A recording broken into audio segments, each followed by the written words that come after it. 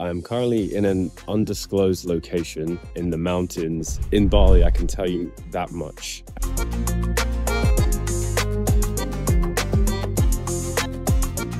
Where there's only men, there's no women allowed, there's only carnivore diet. Basically, you train and do biohacking all day. There's a cold plunge, there's sauna behind me, and then you basically just get on your work and then just bond with other brothers. And I just want to give you guys a little bit of an insight into what, uh, first of all, an experience is like this, but also give you some of the nuggets and takeaways that I've given you that I've also learned around business and life. And so I just bumped into Hamza, who I'm here with before. We're actually sitting at this fire pit here. And these are a lot of high level entrepreneurs. There's a lot of multi millionaires here. Here with Hamza and a bunch of other guys who are just all different kind of levels of life from all around the world Canada, the US, Dubai, Europe, etc. And the conversation got onto internal growth, spiritual growth. It was interesting how it developed because a lot of these guys had made a lot of money, but they were still living in deep just either like depression or anxiety, or maybe some of them had just got divorces. And you know, everyone was just openly and vulnerably sharing their stories. And we got onto the topic of, funnily enough, breath work and uh, how that's helped a couple of the guys who had done it. And most of the guys who were new to that, but they were open to it because we're here in, in the middle of this retreat. And so I actually guided the guys through this breath work practice this morning. And there's a, these are like very masculine men. Like I'll be honest, I'm a little intimidated by some of them. Some of them are absolute machines. But these guys I took through this practice this morning, it was beautiful. These men opened up and some of them were streaming tears, some of them were in tears of unhappiness, some of them were tears of happiness. And it was just like this reminder that truly something about being a successful entrepreneur, being a successful man is realizing that vulnerability actually equals strength. And something special happens when you surround yourself with other brothers who are on the same journey. And that was just something beautiful that we got to experience this morning. Then, as soon as we did the breath work, uh, Hamza and I, that was one of the, uh, actually reminds me of also one of the takeaways I took from our workout today, which is to the way Hamza frame, phrased it, I might phrase it a little bit differently, but the way he said it was to balance arrogance with humility. I think what he meant by that is like essentially waking up, thinking, having a lot of belief in yourself, thinking you're the shit, but also having the humility to ask for help, having the humility to admit that you don't know everything, right? And that you have a beginner's mind. Like when I'm sitting with Hamza, we're talking about YouTube. Do you think I'm telling him what to do with YouTube, or do you think I'm just listening, right? I'd be an idiot to try and tell him what to do. I'm really listening intently because he is light years ahead of me, right? And vice versa. Some of the other guys here wanted some coaching on me in different areas of their life and business. Even though they're older than me, they're listening to me because I have other things to share, right?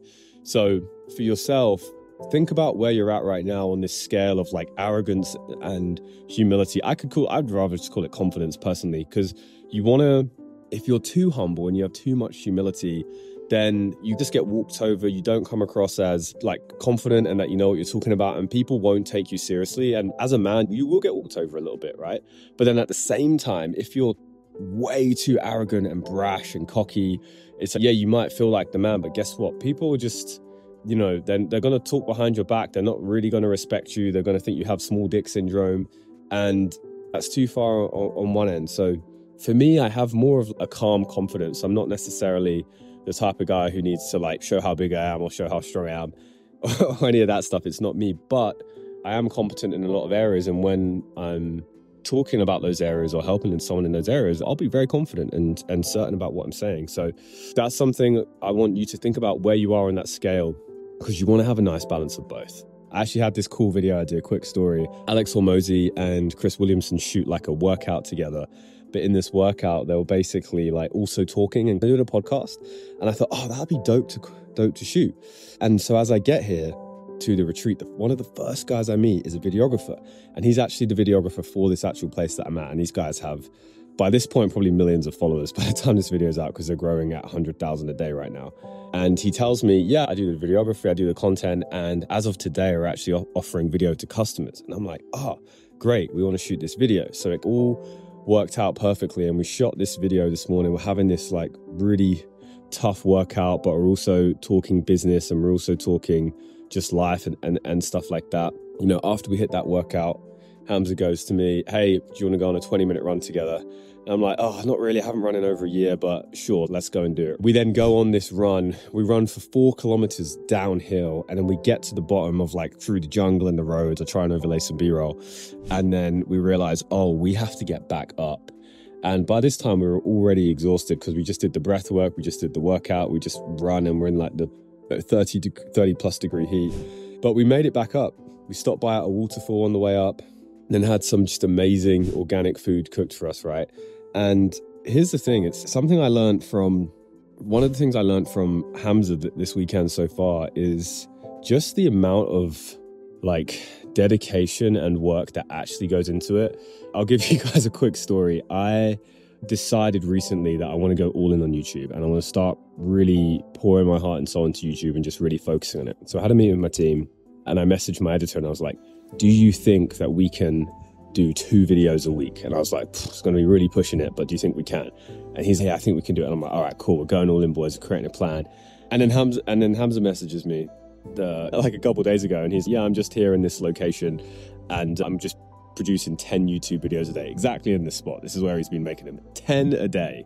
So look at the standard difference, right? So that in a week, that's 80 a week. And my big shift was going from one to two, right? And so this is the second takeaway I want to give you from since being up here, up in the mountains with all these other cool entrepreneurs, which is like when you surround yourself with guys who are just at such a different level to you in a specific area, it just forces you to have a different perspective shift. It forces you to level up because I thought my one to two was such a big thing, but in reality, it's, you know, you then look at what he's doing. He's banging out 80 in a single week, right? So there's levels to it. And just how, you know, he was able to help me with business stuff, I can help with different angles around business, life, mindset, spirituality as well. We all help each other out. At the end of our workout today, Hamza said to me how he just really respected and appreciated how I could just lead these guys through this breath work this morning. He thought that was really cool, stepping up to lead the guys through it. But the funny thing is, is like not even a year ago, I would have been mortified to not only lead someone through it, but let alone a group of very masculine men who are probably more closed off to that stuff. But it felt completely normal to me, right? And so the reason I'm sharing that with you is that the things that are scaring you right now and that seem outside of your comfort zone, realize that they don't actually have to necessarily be that many steps away. It only took me a two a couple of steps to get here to where I am right now, and it's actually the same for you. And so when you're setting your goals, the things that you're moving towards, whether it's building your business, getting in better shape, you know, deepening your relationships, having a better connection with God, whatever your goals are specifically, don't look back at your past self when you set those goals to what you think you could achieve because your past self cannot achieve your future goals. Otherwise, you'd already have them. So, what I mean by that in my example, right, with me is I wanted to be able to guide men and, and help men, and I coach a lot of men now. But previously, I was too scared to do it, so I never took, took the leap. The only so the only thing that actually helped me get there was actually starting to do it, which then stretched my comfort zone who I actually am. It changed my identity, the way I view myself, the way others view me, to when it just became eventually normal for me to do it. But it was very uncomfortable at the start, right? So when you're setting your goals, don't set them from your past and current self, set them from your future self. So get really clear on who is it you want to be because in this retreat, eating steak every day, training with other cool men, getting to just watch these beautiful sunsets, biohacking, going on, you know, going on runs into waterfalls. This is the stuff that I dreamed of on my vision board years and years ago. Honestly, some of this stuff I didn't even couldn't even imagine back then. But when I set those goals, I didn't know how I was actually going to achieve it. And you shouldn't either. If anyone tells you like you should set these small goals, I completely disagree with that. Because if you set a small goal, here's the thing. It's even if you hit it, you haven't made that much progress. You haven't actually grown as a person. To me, the whole point of setting big goals, it's not just to hit some revenue mark, it's who you become in the process of that. And one of the human needs, the needs of the soul that we all have, is to grow, right? Because if we're not growing, what are we doing? We're dying, right? And so, this sense of growth is just, particularly as a man, something that we need because we need to be like, we just have this like innate desire to want to reach our potential. Like, if I ask you right now, do you feel like you're at your potential? I can bet the answer is no, right? You're, you're probably operating at five, maybe 10% of your potential. And so to really take quantum leaps forward, you have to set much bigger goals. And I just did my own goal setting for Q3 and Q4 on a worksheet with my guys. If any of you guys want it, DM me on Instagram and I'll help you to do that. And this is the other this is the other stuff that I'm teaching with the guys who I'm mentoring, who are mainly agency owners, coaches, helping them scale their business. We've had guys scale between. I just got off a call with Alin, one of the guys I've been working with recently. He just scaled to 30k a month. We're now going to get him to 100k a month in the next three months. Like, stop being a bitch. Just turn up the ad spend and then come back to me when you're when you're gonna do 30k. Um, I literally went there. I turned it up. I doubled the ad spend. After the appointments came in, and then like two, three weeks, like by the end of the month, we did 30k, and then I came back to you. I was like, yeah, we hit 30k. Giacomo, we got to 70k a month, and just goes on and on. So, if you do want some help with that, feel free to message me. I'll be able to tell you if you're a good fit, and it'll be great to connect with you. But aside from that, stay blessed, stay grateful, peace